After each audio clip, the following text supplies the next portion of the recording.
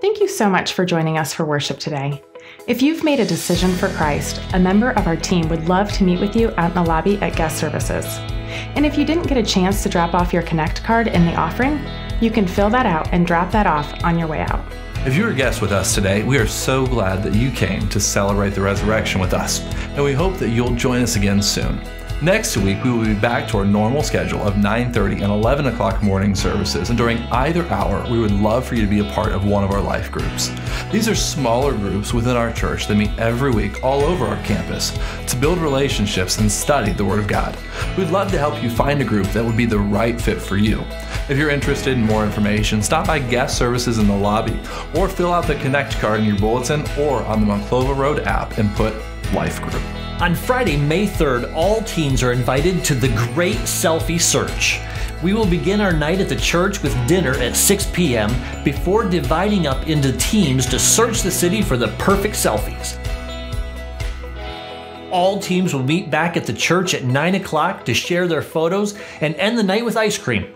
The cost is only $5, and we encourage all teens to invite a friend to come with them. Teens can sign up in the teen room or by using the Connect card anytime before May 1st. Summer is just around the corner, and that means it's almost time for Vacation Bible School. So, grab your gear because you are going to want to join us as we run the incredible race. Now, we are looking to create lasting memories as we share the gospel with our community. There will be globe-trotting games, world-class crafts, cool contests, and sensational Bible stories. Mark your calendars because this race runs from June 10th to the 14th. Whether you're registering your kids or registering to volunteer, you can do so on the MRBC app or on the church's website.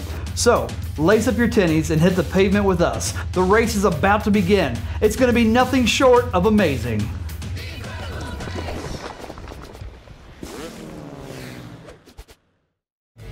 Thank you so much for joining us for worship today.